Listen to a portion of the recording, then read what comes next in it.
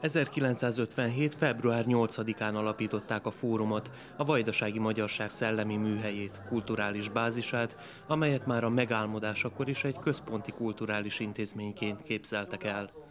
A fórum hat évtized alatt is hű maradt a küldetéséhez, és nem veszített jelentőségéből sem.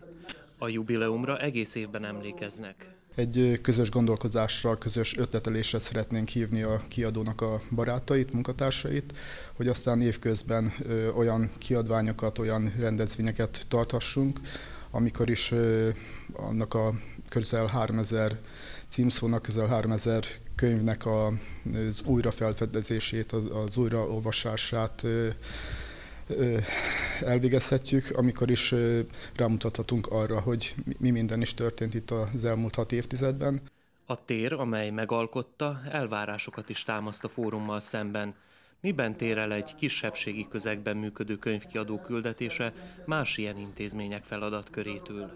A fórum az egy reprezentatív vajdasági magyar intézmény, egy, egy alapvető kulturális bázis, és azt hiszem, hogy egy műhely is. És talán ebben, hogy az egyetlen is. A fórum így gazdag múltal és letisztult jövőképpel várja holnap kihívásait.